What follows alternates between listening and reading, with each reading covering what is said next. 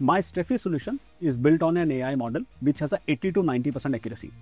Now, the fact that people can do this test, the Streffie uh, stress monitoring on a daily basis, the accuracy level goes exponentially up because they are doing it on a regular basis.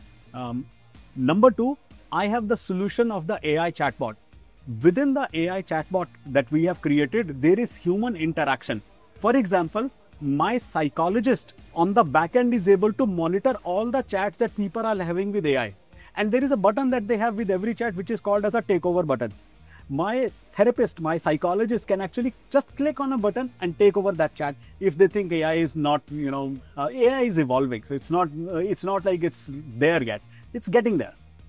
My de-addiction solution has an AI system built in where it is looking at the behavior of people that are doing the de-addiction program what is the result that they are deriving from it what all is happening and then it pushes out you know better uh, features capabilities and everything. So there are different layers the accuracy the usage and the functionality of each of these layers is being constantly worked upon by us in you know uh, in how the technology is evolving.